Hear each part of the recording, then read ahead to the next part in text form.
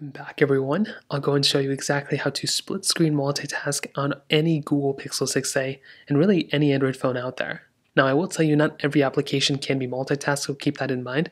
But if you're rocking a Pixel 6a, what you want to do first is you want to load into a few different applications. So you can either try finding the application like this, but first of all what we're going to do is make our way over to any app. So in this case we'll just be using the Google Play Store.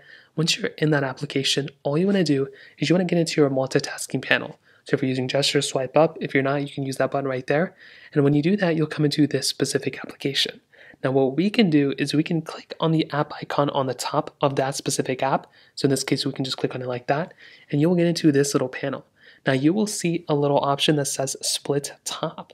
Now what we can do here is we can click split top and now that application will go ahead and move out of the way and we can get into another application on the bottom that also supports split view. So all you want to do is basically load into two different apps. Load into let's say Play Store for example and load into another one like Files for example, whatever else you want to do. Get into your split screen multitasking by clicking there, clicking on the app icon up there and then clicking split top and then choosing that other application. And now look, you have basically just split screen multitask and it's really as easy as that. Now you can go ahead and split, kind of, you know, change the viewpoint here. You can make it bigger, smaller, really just depends on what you want to do.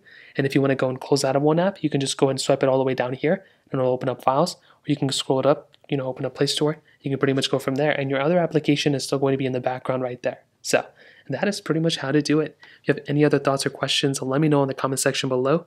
Hit the like button, that would mean so much, but definitely hit that subscribe button. More importantly everything else, I love every single one of you guys. Hopefully I'll catch you guys in the next video. Peace out.